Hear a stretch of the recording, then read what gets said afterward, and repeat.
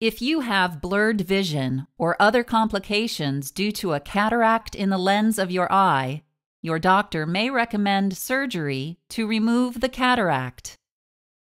The lens is a clear disc that receives light through the pupil and focuses it on the retina to help produce a clear image. The lens is mainly composed of water and proteins. As you age, these proteins may begin to clump together and cloud the lens. This clouding is called a cataract. A cataract can block light from entering your eye and cause blurry vision.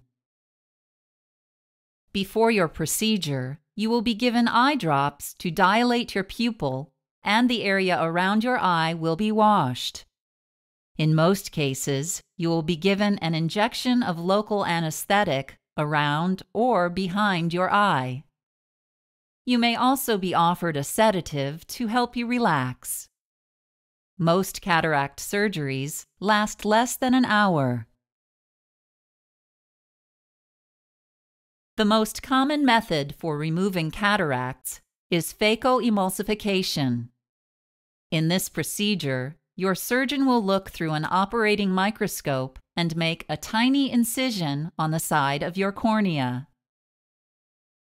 He or she will make an opening through the capsule of the lens and use an ultrasound probe to break the cloudy lens into tiny fragments. Next, your surgeon will vacuum out these fragments through the incision. Then, an artificial intraocular lens will be inserted.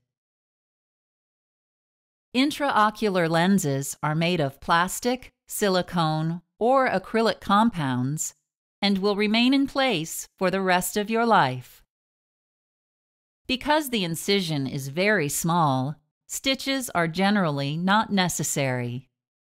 Vision often improves notably immediately after surgery. After your operation, a patch will be placed over your eye and you will be observed for a short time to be sure there are no problems, such as bleeding. Cataract surgery is performed on an outpatient basis so you will likely go home the same day. Since exposure to bright light may initially be uncomfortable, make arrangements for someone to drive you home.